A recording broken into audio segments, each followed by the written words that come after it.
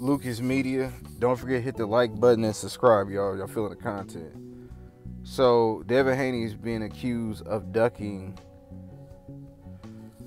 Shakur Stevenson by Hall of Fame writer Barry McGuigan.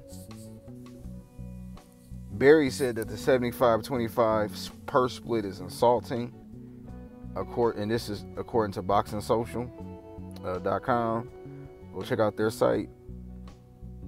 Basically saying it says, you know, the public wants to make the uh, or the public wants to see the Devin Haney Shakur Stevenson fight. And then, I don't know, basically just saying that he shouldn't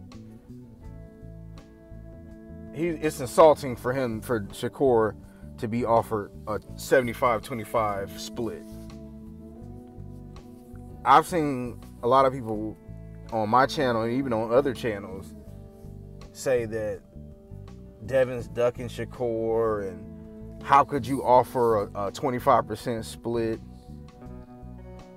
If I remember right, they offered Shakur maybe eight million, somewhere around there. It was it was it was definitely several M's. But even Shakur said that he feels like his value is worth it. And I think a lot of people who who's on my page think that I'm a Shakur Stevenson. Hey, let me make this clear. I'm a fan of Shakur. I'm a fan of Devin. Honestly, I, I rep all these fighters. But if we're gonna be fair, boxing's always an A side and B side right? Because this is what people be telling me in the comment section and all these different boxing groups, right? So then, if there's an A side and B side, I don't have a problem with Devin Haney offering Shakur Stevenson a 25% purse split. Number one, you make $8 million. Number two, you're not coming in with no leverage in the fight. You're not a champion at 135, and Devin Haney has all the belts. It ain't like he just got the WBC belt. He got all four sanctioned mighty belts, all of them. Undefeated. Just had a, a match with Hall of Famer, a future Hall of Famer, Vasil Hi-Tech Lomachenko. And Devin Haney also went to Britain. I mean Britain. he went to Australia and fought twice. And he was the B side and took less money, even when Eddie Hearn said that he shouldn't take that fight. And when no, I seen everybody say, "Oh yeah, that's what Dev gets," you know. I didn't hear nobody complaining when George Kambosos was the was the complete A side and dictated everything for him in the Devin Haney match. So no, and guess what? If Shakur was undisputed, undefeated, and he offered Devin Haney a 25% split, and Devin Haney went on there complaining, I wouldn't have nothing to say about it. I wouldn't. You wouldn't hear me say a word about it. I'd be like, hey, look at the resumes. And you know, this is the thing of boxing. I mean, every fighter is going to complain, and everybody's going to say, "Oh, you know, they this person deserves more." When, when people went up against Floyd, Floyd was the A side. If you're going up against Tank at this particular moment, at this moment, Tank is the A side.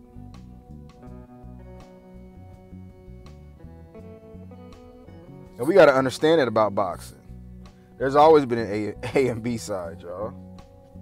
There's nothing, there is no robbery for being offered $8 million to fight, especially for undisputed. And guess what?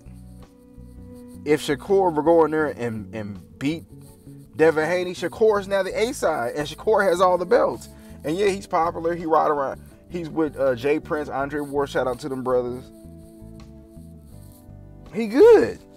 But see, that's the problem. Nobody wants to sacrifice. And that's what I like about Devin Haney. Devin Haney went over to Australia and took less money in two fights just to get all the belts. So no, when you when you and just like Terence Bud Crawford, when you get undisputed, undefeated, and you are undisputed and you got all the belts, man, no, man. You can do what you want. And honestly, 25% is a heck of a deal because other people would have probably offered, offered Shakur two, three million and, and been like, well, take it or leave it. And would have tried to squeeze him with other parts of the negotiating besides just the pay. But I've been telling y'all, man, this fight wasn't gonna happen, man. Shakur gonna want at least close to a 50-50 split and fine. But he gonna have to start collecting belts. And Devin Haney is very close to being a five-time champion. He's a few weeks away from becoming the WBC champion, if all goes well for him, at 140 pounds. So, again, Devin Haney is going to be the A side.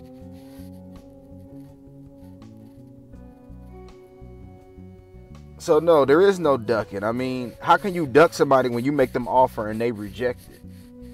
And you talking about it's a lowball offer. But where was it all this complaining when Devin Haney was getting this? When Lomachenko was ducking Devin Haney. Y'all remember that? Devin Haney became Lomachenko's mandatory. WBC makes him a franchise champion when they originally said the franchise title wasn't even a real belt. But then y'all turn around and call Devin Haney the email champion. I was here for all of that because Lomachenko, Lomachenko was ducking. Ryan Ryan Garcia ducked Devin Haney. Ryan Garcia was Devin Haney's mandatory. He didn't want no problems.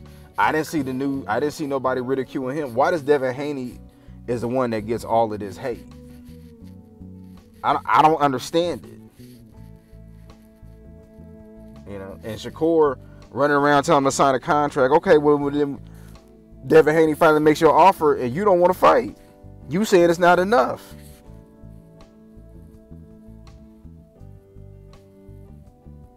Ryan Garcia took less to fight Tank Davis. Now he ended up not not winning, but salute to Ryan. I ain't gonna never clown Ryan for for for doing that. And Ryan was an extremely popular fighter and took B side on everything. Even when Oscar and them didn't want him to do it. So Shakur, why don't you do that? And if you go in there and you dog walk Devin Haney, you the A side now. It's simple, but no, everybody want to be the A side, but they haven't earned it at this particular moment. But that's just my quick opinion about it. What y'all think?